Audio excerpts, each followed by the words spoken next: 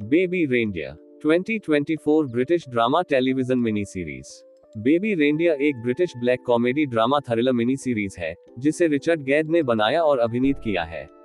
Gadd के इसी नाम के आत्मकथात्मक वन मैन शो का रूपांतरण ये सीरीज़ गैद के बीसवें दशक में पीछा किए जाने और यौन उत्पीड़न के वास्तविक जीवन के अनुभव पर आधारित है। इस सीरीज़ में सात एपिसोड हैं, जिनका प्रीमियर दी 11th ऑफ़ अप्रैल 2024 को नेटफ्लिक्स पर एक साथ हुआ। कलाकार और पात्र, रिचर्ड गैद डोनी डन के रूप में, गैद का एक काल्पनिक संस्करण। जेसिका गनिंग माथा स्कॉट के रूप में, एक पूर्व वकील जिसका आपराधिक अतीत है। नवा माओ टेरी के रूप में, एक चिकित्सक जिससे डोनी एक ट्रांस डेटिंग साइट पर मिलता है। टॉम गुडमैन हिल डेरियनो, कॉनर के रूप में, एक टेलीविज़न लेखक जो डोनी को अपने संरक्षण में लेता है। शालोम ब्रून फ्रैंकलिन कीली के रूप में, डोनी की पूर्व प्रेमिका। मीना सोसानिया लिस के रूप में, कीली की माँ और डोनी की मकान मालकिन। माइकल वाइल्डमैन ग्रेक्सी के रूप में, पब के मालिक जहाँ डोनी काम करता है। डैनी किरेन गीनो के रूप में, डोनी का सहकर्मी। अमांडा रूट एली के रूप में, डोनी की माँ। मार्क लुइस जोन्स गैरी के रूप में, डोनी के पिता। ह्यू कोल्स फ्रांसिस के रूप में, डोनी के ड्रामा स्कूल से दोस्त। अलेक्जेंड्रिया रिले डिटेक्टिव कल्वरा डोनी के मामले को देखने वाला जासूस। थॉमस कॉम्स, अधिकारी डैनियल के रूप में, एक अक्षम पुलिस अधिकारी। टॉम ड्यूरेंट प्रिचर्ड, जेसन के रूप में, एक कॉमेडी प्रतियोगिता के होस्ट। लॉरा स्मिथ, ग्लेंडा के रूप में, कॉमेडी प्रतियोगिता की एम। सी, उत्पादन, विकास, श्रृंखला की घोषणा दिसंबर 2020 में की गई थी, जिसमें रिचर्ड गैद श्रृंखला लिखने और अभिनय करने के लिए तैयार थे। क्लेर केनवेल फिल्म्स को इसका निर्माण करना था। अगस्त 2022 में वेरोनिका टोफिल्सका को निर्देशक के रूप में जोड़ा गया। मार्च 2023 में जोसेफिन बोनबुश को अतिरिक्त निर्देशक के रूप में घोषित किया गया।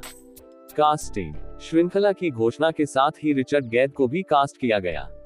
जेसिका गनिन को द 26th ऑफ़ अगस्त 2022 को कास्ट किया गया। नवा माओ को मार्च 2023 में कलाकारों के रूप में घोषित किया गया। फिल्मांकन। फिल्मांकन अगस्त 2022 के मध्य में एडिनबर्ग में ग्रास मार्केट में शुरू हुआ। लंदन में भी फिल्मांकन हुआ। मार्च 2023 की शुरुआत में फिल्मांकन समाप्त हो जाएगा। स्वागत। समीक्षा एग्रीगेटर रोटन टोमाटोस पर 36 आलोचकों में से 97 परसेंट ने श्रृंखला को सकारात्मक समीक्षा दी, जिसकी औसत रेटिंग 8.810 थी। वेबसाइट की आम सहमति कहती है निर्माता और स्टार रिचर्ड गैद द्वारा ऑटोफिक्शन का एक दमदार काम, बेबी रेंडियर देखने में कष्टदायक हो सकता है, लेकिन अपनी भावनात्मक जटिलता और बेहतरीन अभिनय से दर्शकों को भरपूर पुरस्कार देता है। मेटाक्रिटिक पर, श्रृंखला ने 10 आलोचकों के आधार पर 100 में से 87 का भारत औसत स्कोर रखा है, जो सार्वभौमिक प्रशंसा दर्शाता है। द टैब के हैरी ब्रोकलहर्स्ट ने शो को बेहद मज़ेदार, बेहद परेशान करने वाला और बहुत ही मार्मिक, बताते हुए शो के प्रशंसकों की आलोचना की, उन्हें घृणित करार दिया, क्योंकि उन्होंने माथा, चरित्र पर आधारित वास्तविक महिला को उजागर करने का प्रयास किया और अनुमान लगाया कि कौन से सोशल मीडिया अकाउंट वास्तविक व्यक्ति के हो सकते हैं। शो के काल्पनिक पात्रों की वास्तविक जीवन की प्रेरणाओं के बारे में आगे के सिद्धांत ऑनलाइन सामने आने के बाद, गेद ने अप्रैल 2024 में दिए गए एक बयान में शो के प्रशंसकों से किसी भी तरह की अटकलें बंद करने को कहा।